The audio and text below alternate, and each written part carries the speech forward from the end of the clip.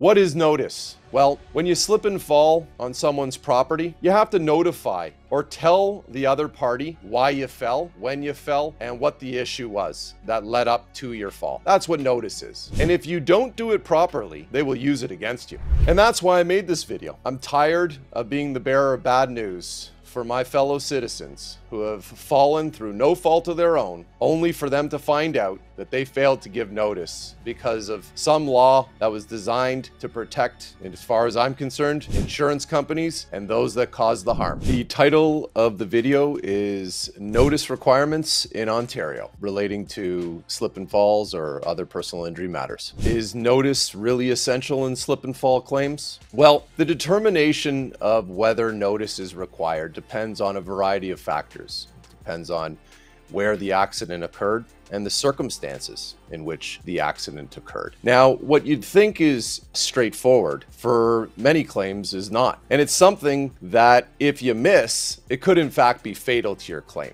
So when people suggest to you that, oh, don't worry about any notice requirements, well, in many circumstances, notice shouldn't be an issue. But there are limited circumstances where failure to give notice can in fact be fatal to your claim. And even if you do eventually give notice, it could serve as an opportunity to reduce the value of your claim substantially. So why not just comply? Why not learn about the system, get the answers, and make sure that you do something that's very straightforward and that means complying with the notice provisions that are set out under a variety of laws in Ontario.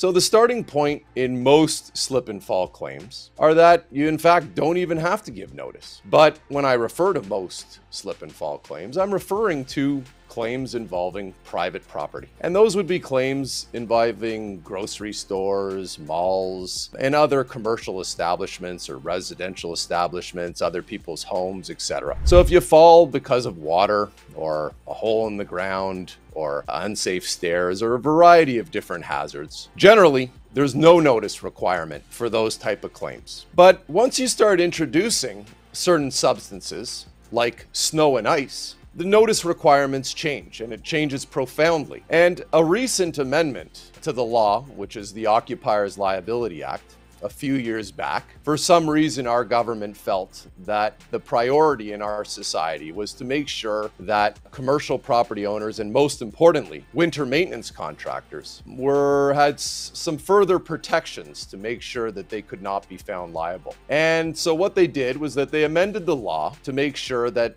that victims who have slipped and fallen because of snow and ice via registered mail within 60 days of the fall and failure to give notice within 60 days of the fall could, in fact, be a bar to your claim. So you got to give notice. You slip and fall on ice and snow, even though you might be in the hospital, even though you might be hurt recovering, you have to send a letter by registered mail setting out the who, what, where, when, how, and whys. And what does that mean? Well, you got to tell them what did you fall on? Fell on snow and ice. Where did you fall? I fell on the front of the commercial property at the, my local grocery store in front of the, the entrance. What was the substance? Well, was it snow? Was it ice? What did you see? the Occupiers Liability Act. So when you give notice, you got to set out when did the accident occur? You got to provide the date and the time. You also need to let them know what the cause of the fall was. Was it snow? Was it ice? Was it a combination of both? Was it slush? And you got to make sure that this type of notice is delivered to the right parties. You can't just send it to anybody. You got to send it to the occupier, the winter maintenance contractor. And you may ask yourself, well, how the hell am I supposed to know who the winter maintenance contractor is? And you raise a good point. But the law is what it is. It specifically states that you have to give notice to either the occupier or the winter maintenance contract. So the occupier could be the owner of the mall, the property manager. You could give it to the store owner. The bottom line is is you want to take steps to alert them of the fall. And the purpose is so that they can properly investigate it, so that they can document what happened or what didn't happen. So you got to tell them who you are. You should probably let them know that you were injured too.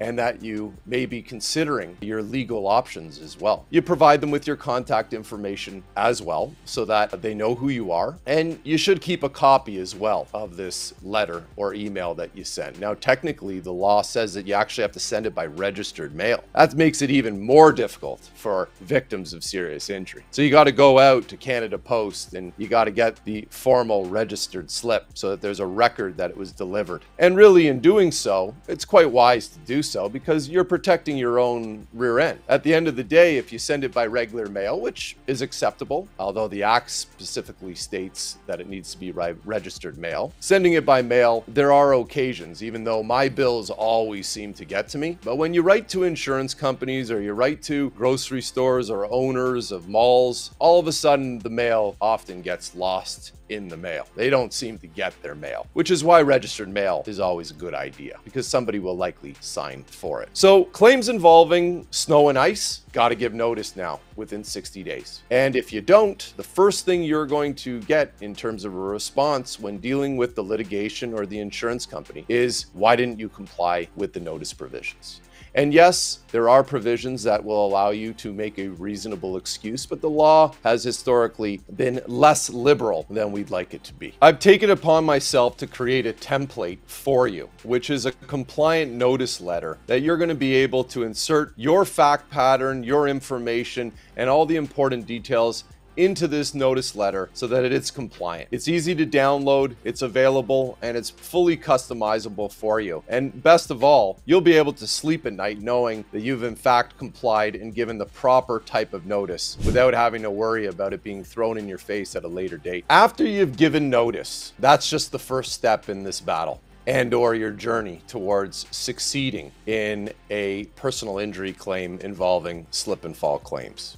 So now we move on to surely there are other property types and the answer is of course there is. We've talked about private property, commercial or properties, residential properties, and like I said, the nature of the hazard dictates the type of notice you have to give. But let's say you're walking on a city sidewalk or you're crossing the street. Well, there's different notice requirements performance for that. And frankly, there's a whole other statute that deals with slip and falls or trip and falls on municipal property. So, what is the notice period for municipal claims where you fall on city sidewalks? And remember, there's a variety of reasons why people fall on city sidewalks. It can be because of snow and ice, it can also be because of disrepair. Everybody's seen sidewalks heave. That's a common trend in Ontario because of the freeze thaw cycles, where the sidewalks lift up and there's often a one or two inch inch or even three inch gap between the two slabs. So when people slip and fall because of ice and snow or because of just general disrepair, there's actually even a shorter notice period. And that notice period is 10 days. And the law specifically states that when asserting a claim under the Municipal Act, you have to give notice in writing via, again, registered mail, but this time it's to the clerk of the township or of the city. And when you go on the city's website, you'll be able to see who the clerk is and what their address is. And again, it's required by registered mail. Although often an email will suffice, and the clerks in many of these jurisdictions will acknowledge receipt. And again, when giving notice, you have to make sure that you specify the who, what, where, when, how, and whys. So you got to tell them it involved you. You got to tell them what the hazard was. You got to give them the location of the fall. That's always the same in, in, in every case. You you want to always tell them where you fell. So for instance, as I was referring to in the other point about private property, you got to tell them it was in front of this store. You got to give them the address. You got to give them as much detail as possible. And it's the same with municipal claims. You got to specify what side of the road you were on. You got to specify what the nearest intersection was and whether or not you were east or west or north or south of that intersection. And you also need to tell them what was the cause of the fall and what you injured. Those are the best starting points when giving notice. You want to make sure that your notice is comprehensive so that no one can turn around and say, oh, well, you didn't comply with this or you didn't tell us where it was, so we couldn't investigate it, and now we're prejudiced. Take away all those opportunities for insurance companies or municipalities to use a non compliant notice against you.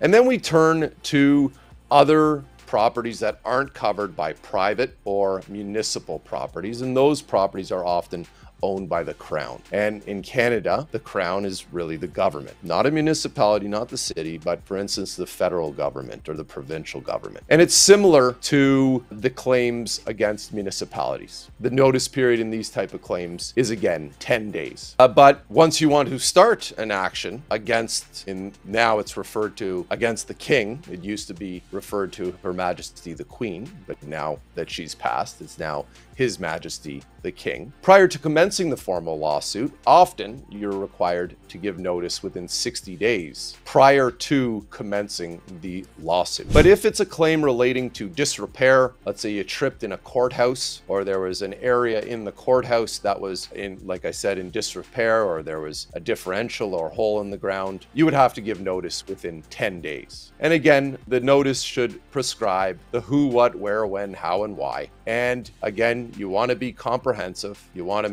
make sure that you're giving the proposed defendant sufficient information so that they can investigate the claim. And you also want to make sure that against the Crown that it's personally served or at a minimum sent by registered mail as well. And the actual act in claims against the Crown specifies that you have to again provide sufficient particulars to identify the occasion out of which the claim arose. So again, that's the who, what, where, when, how, and why. If you do that every time, you're never going to have problems with notice. But notice the starting point is always, no matter what it is, how many days do I have to give notice? You don't want to start making excuses, even though often there are times where you have to make excuses. For instance, you could be in a coma. You could be completely out of it. You could have major, major medical and health complications that prevent you from giving notice. But there are very limited circumstances in which the courts will accept failure to give notice. So it's best to just comply. And if you live alone, have a friend or family help you.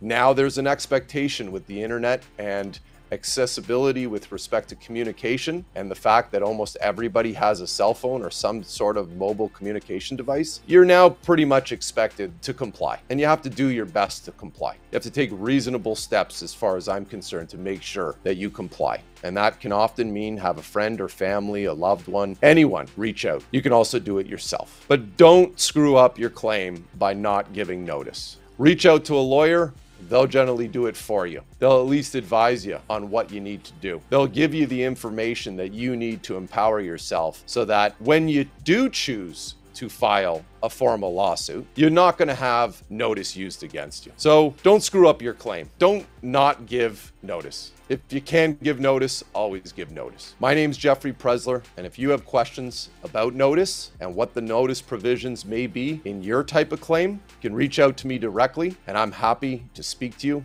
about your rights. Now, I've made another video on how to win your slip and fall claim, and it's as easy as clicking on this link for you to get the best information that I can provide to you so that you can set your claim up for success. Don't screw up your claim. Watch the video now.